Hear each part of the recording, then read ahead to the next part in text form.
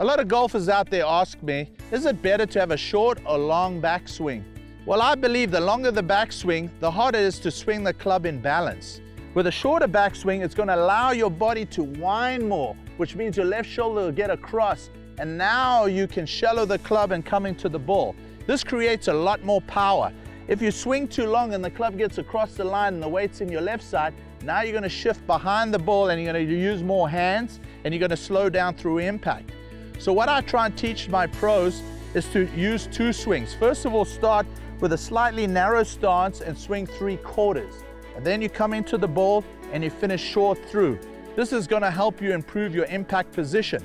Then when you go to your full swing, it's not gonna get long because your body is gonna wind behind the ball and your arm swing is gonna be shorter. You can see my arms are out in front of me. They don't get behind my head and get long. So start practicing with a short swing, three quarters back, three quarters through. Really helping you accelerate through the ball, really feeling like you're putting pressure into your left side. So start with a shorter swing and then get longer and longer and build the swing for success. Now subscribe so our instructional team can put you on a personalized plan to help you take your game to the next level.